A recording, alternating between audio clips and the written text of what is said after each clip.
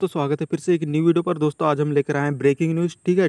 चूँकि आज की है ब्रेकिंग न्यूज़ है वीडियो को पूरा देखिएगा, तभी आपको समझ में आएगी, ठीक है? अतिथि शिक्षा भर्ती 2022 को लेकर यहाँ पर ओबीसी के लिए जो है बुरी खबर यहाँ पर निकल कर आ रही है, ठीक है? चूँकि बाईस बाईस जुलाई दो हज़ार बाईस की है ठीक है?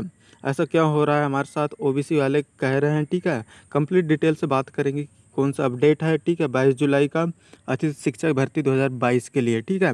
तो वीडियो पर अंत तक बने रहे, चैनल पहली बार आएँ, इसी तरह की वीडियो देखना चाहते हैं तो हमारे चैनल को सब्सक्राइब कर लीजिए, क्योंकि अतिथि शिक्षा भर्ती से संबंधित सभी जानकारियाँ हमारे चैनल पर अपलोड होती है, इसलिए सब्सक्राइब करना ज़रूर।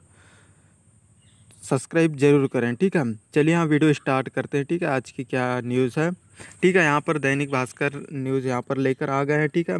भोपाल की तरफ़ से बाईस सात दो हज़ार बाईस का यहाँ पर न्यूज़ है, शिक्षा भर्ती, ठीक है? शिक्षा भर्ती ओबीसी उम्मीदवारों के तेरह प्रतिशत पद रोकने की चुनौती, ठीक है? तेरह प्रतिशत पद यहाँ पर रोकने की चुनौती दी गई है ओबीसी कैटेगरी के लोगों के लिए, ठीक है? शिक्षा भर्ती ने तो यहाँ कंप्लीट डिटेल से आगे यहाँ पर बात करते हैं वीडियो पर, ठीक है? कि क्या मामला है, ठीक है? जबलपुर से न्यूज़ यहाँ पर आ रही शिक्षा भर्ती परीक्षा में चयनित उम्मीदवारों ने सरकार द्वारा तेरह प्रतिशत पदों पर नियुक्ति रोकने रोकने को हाईकोर्ट में चुनौती दी गई। ठीक है, हाईकोर्ट में तेरह प्रतिशत पदों की नियुक्ति रोकने के लिए हाईकोर्ट में चुनौती दी गई है। प्रारंभिक सुनवाई के बाद चीफ जस्टिस रवि मलिमठ व जस्टिस विशाल मिश्रा की जो है खंडपीठ ने स्कूल शिक्षा विभाग, समान प्रशासन विभाग व अन्य को नोटिस जारी कर दी, कर छः सप्ताह में जवाब मांगा है, ठीक है?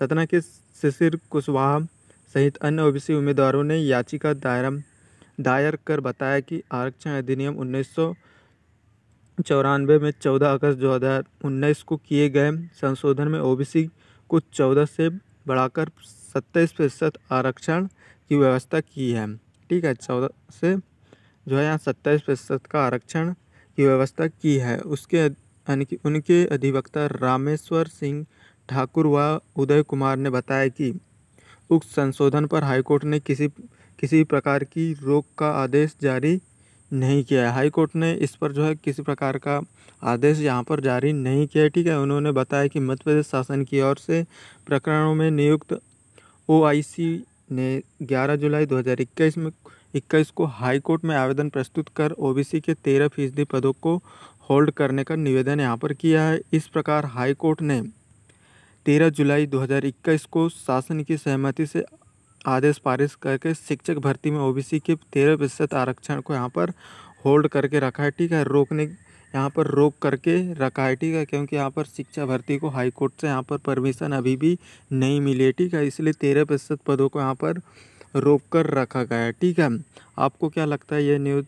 अगर अच्छी लगी हो तो लाइक, सब्सक्राइब कीजिएगा और ऐसा नहीं होना चाहिए या होना चाहिए, ज़्यादा ज़्यादा ज़्यादा से ज़्यादा कमेंट कीजिएगा। ठीक है, बाकी ऐसा कुछ नहीं होना चाहिए, ये मेरा मानना है। ठीक है, सभी के साथ जो है समान रहना चाहिए। ठीक है, आपकी क्या राय है, कमेंट करके ज़रूर बताएँ। वीडियो पसंद आए तो वीडियो को लाइक कीजिए, क्योंकि यहाँ पर ऐसी इन्फॉर्मेशन डलते रहती है और सब्सक्राइब कर लें, ठीक है? ज़्यादा टेलीग्राम ग्रुप ज्वाइन कर सकते हैं, वहाँ पर आपको स्क्रीनशॉट मिल जाएगा और अधिक जानकारी के लिए आप समाचार पत्र पढ़ सकते हैं, ठीक है? बाकी मिलते हैं अगली वीडियो पर। Thanks for watching bye